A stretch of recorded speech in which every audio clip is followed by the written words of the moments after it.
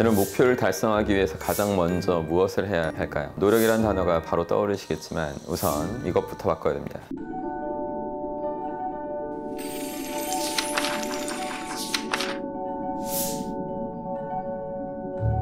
사람들은 보통 사회적으로 큰 성공을 거둔 사람들을 볼 때 그 사람들이 엄청난 노력을 생각하면서 저 정도 하니까 성공하는구나 라는 생각을 하곤 해요.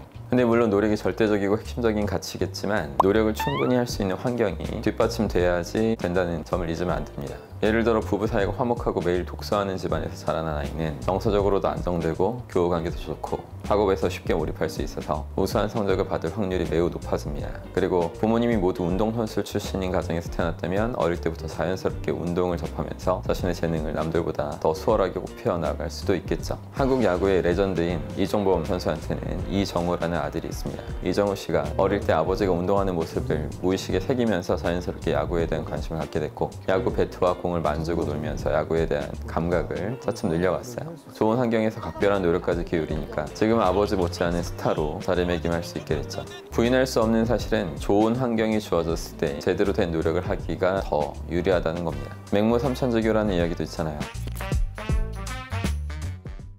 맹자의 집은 원래 공동묘지 근처에 있었는데 어린 맹자가 매일 곡하는 소리 따라하니까 걱정된 맹자 어머니가 아이의 장례를 위해서 다른 곳으로 이사를 가게 됩니다.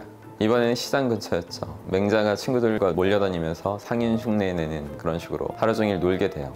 맹자의 어머니는 아이의 교육이 불리하다고 판단해서 결국 서당 근처로 이사를 가게 됩니다. 그제서야 맹자는 글 공부에 관심을 갖게 되고 이때 훗날 대학자가 되는 초석을 다지게 되죠. 이렇듯 인간은 어떤 면에서 이렇게 환경에 쉽게 휘둘리고 영향을 받을 수 있다는 점을 이해해야 하고 이를 제대로 활용할 수 있어야 됩니다. 만약 맹자 어머니가 환경의 영향을 무시하고 맹자를 공동묘지 근처에서 계속 키웠다면 과연 당대 최고의 지성인으로 성장해 갈 수 있었을까요? 똑같은 재능을 타고났다 할지라도 결코 쉽지 않았을 겁니다.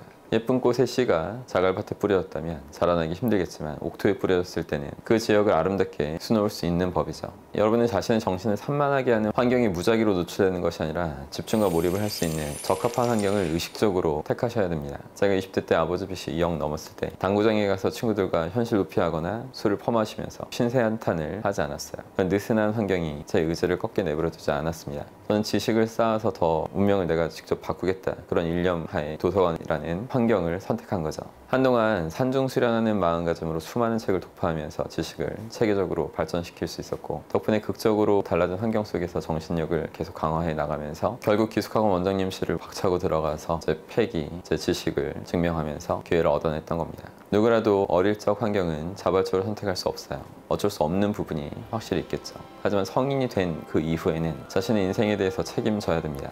주어진 환경을 탓하면서 주저앉는 것이 아니라 더 성장할 수 있도록 더 유리한 환경을 적극적으로 만들어 나가는 그런 노력을 따로 해야 됩니다. 만일 아직 준비된 능력이 턱없이 부족해서 다른 사람한테 다가갈 용기가 없다면 우선 저처럼 도서관에 가보시는 것을 추천드리고 싶어요. 그 안에서 남들을 고도의 집중과 몰입 상태로 만들 수 있는 그런 지식, 지혜를 만들어내면 결국 남들한테 이걸 설명하고 싶은 강한 동기를 스스로 느끼게 될 거예요. 그리고 여러분의 능력이 필요한 사람들을 찾아가서 그렇게 만나다 보면 반드시 더 큰 성장 을 이룰 수 있게 됩니다. 인간은 분명히 환경을 초월할 수 있지만 여전히 환경의 영향을 크게 받을 수밖에 없는 존재입니다.